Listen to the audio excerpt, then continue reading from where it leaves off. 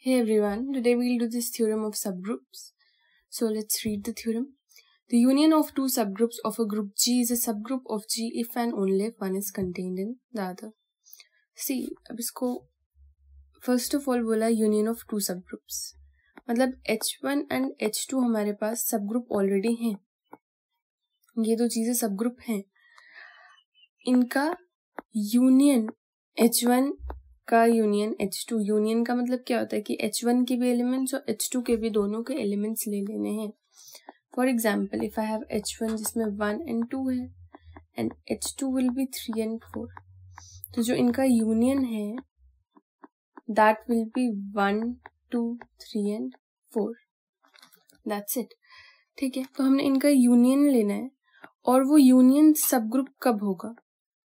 हमने बताना कि वो चीज़ सब ग्रुप कब होगी if and only if one is contained in other अब one is contained in other का मतलब ये है, देखो एच वन और एच टू सब ग्रुप है, यानी कि वो सबसेट भी होंगे एच वन सबसेट होगा ग्रुप का और एच टू भी सबसेट होगा ग्रुप का राइट right? तो देखो, अगर हम ये मान लें कि ये सबसे बड़ा एक ग्रुप है और उसके अंदर एक ये है एच वन और एच वन के भी अंदर हमारे पास एच टू है।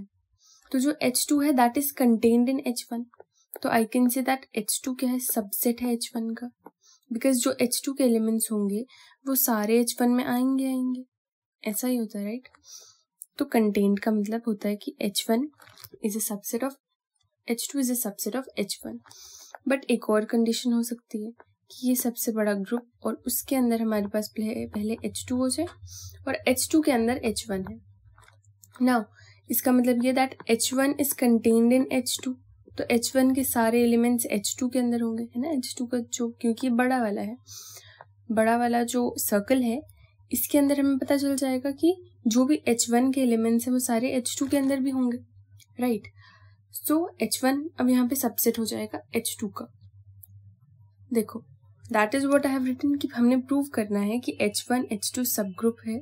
H one union H two subgroup है जी का। इफ़ एंड ओनली या तो एच वन सबसेट हो जाएगा एच टू का, या तो एच टू सबसेट हो जाएगा एच वन का। ठीक है? अब यहाँ पे देखो इफ़ एंड ओनली इफ़ आए हैं। तो इफ़ एंड ओनली इफ़ में वी नो कि दो चीज़ें प्रूव करनी होती। तो यहाँ पे हमें पहली प्रूव ये करनी है कि H one H two union जो है वो सब ग्रुप होगा अगर ये सबसेट ये वाली। कंडीशन होगी कि एच वन या तो सबसेट होगा एच टू का या तो एच टू सबसेट होगा एच वन का। और सेकेंड में हम इसका उल्टा करते हैं राइट सो so, हम यहाँ पे प्रूव करेंगे कि एच वन जो है एच वन सबसेट है एच टू का या तो एच टू सबसेट है एच वन का सपोज़ किया हमने और प्रूव हमने करना है कि ये यूनियन का सब ग्रुप है। ठीक है? These two things we going to prove here so first part लेते हैं। सो so फ़र्स्ट में हमने लिया कि सपोज़ कर रहे हैं हम कि H one union H two क्या है? सब ग्रुप है। हमने एज्यूम कर लिया कि सब ग्रुप है और हमें प्रूव करना है कि one is contained in other इसको प्रूव करते हैं। देखो, यहाँ पे हम कॉन्ट्रडिक्शन का यूज़ करेंगे। मतलब जो चीज़ हमें दी हुई है, हम उसको ऑपोजिट करेंगे। ठीक है? So let's do it I write if possible suppose H one subset नहीं एच टू का। एंड एच टू भी सबसेट नहीं है एच वन का।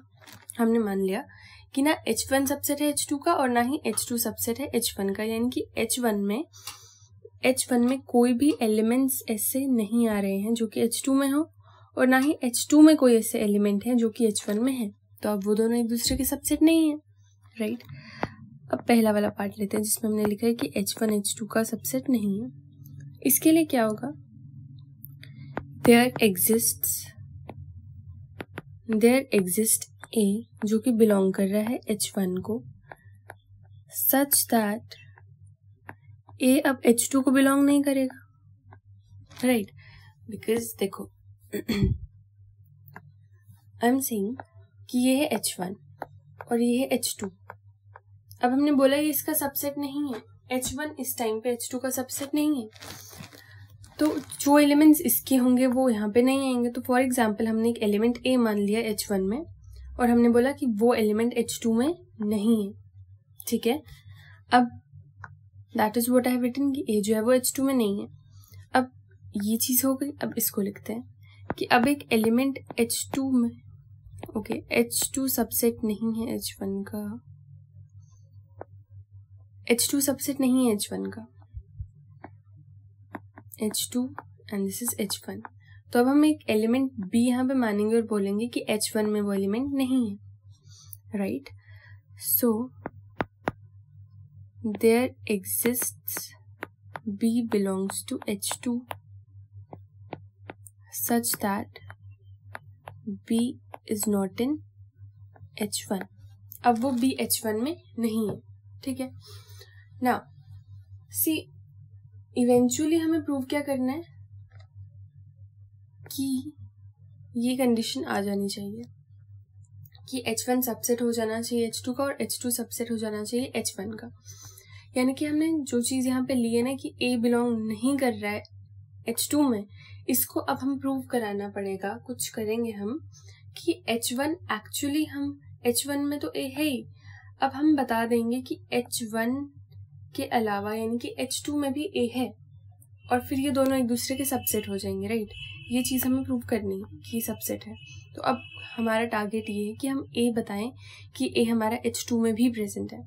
यहाँ पे तो हमने बाय कॉन्ट्रेडिक्शन लिख दिया कि ए हमारा एच टू में प्रेजेंट नहीं है but now we have to prove कि ए एच वन में एच टू में है okay this is how we do it अब देखो।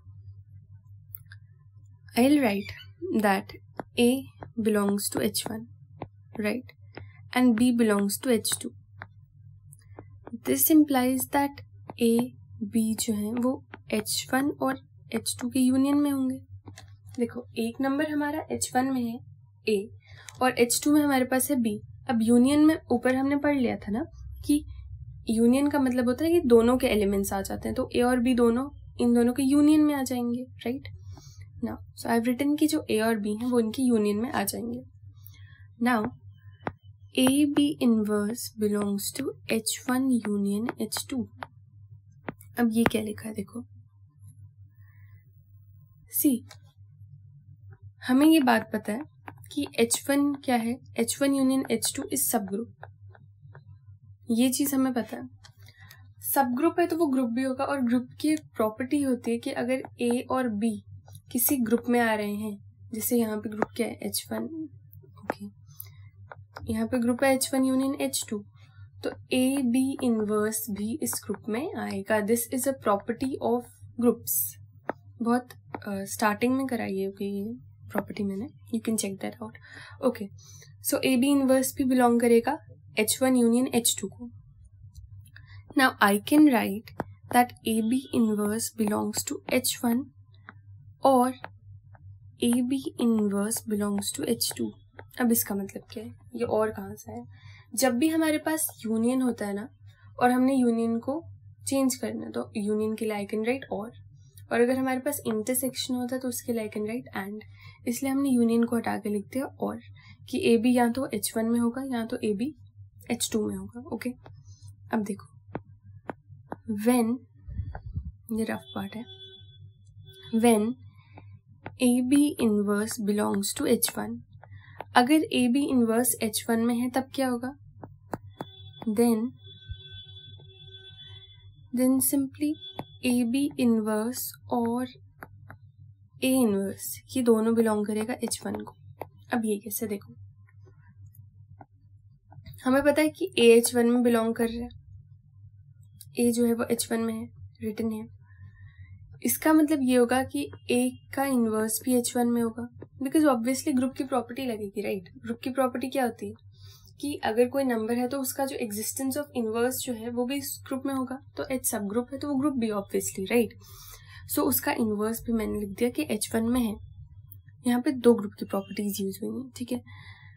ना ए बी इनवर्स को मैं ऑपरेट करा दूँगी ए बी इनवर्स से। क्लोजर का यूज़ कर रहे हैं अब हम।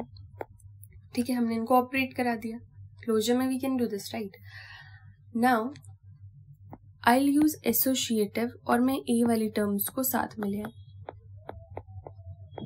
ऑल राइट नाउ अब क्या होगा?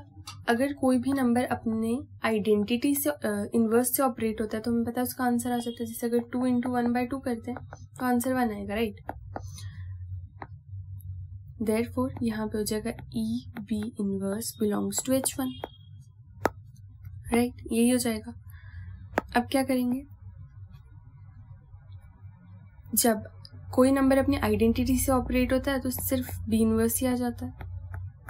और वो जाएगा एच वन देखो, हमने स्टार्ट कहाँ से किया था?